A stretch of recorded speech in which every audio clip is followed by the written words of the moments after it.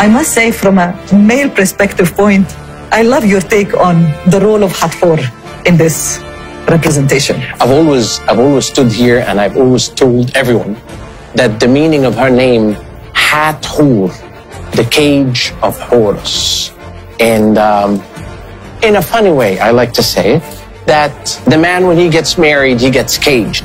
So Hathor, okay?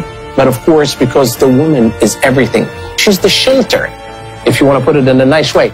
But this is a beautiful piece. Can you imagine? They found four of those pieces, okay? Three here and one at the Museum of Fine Art in Boston. And I had the chance to speak about it when I was there. Now, let us tell people what is so special about this piece. Now, you've talked about her, Hathor, the goddess of love, joy, music, and all what's beautiful. Standing next to Mykerinos, Menkaure, the builder of the third pyramid in Giza, At the Giza Plateau. at the Giza Plateau, and one of the provinces of Egypt.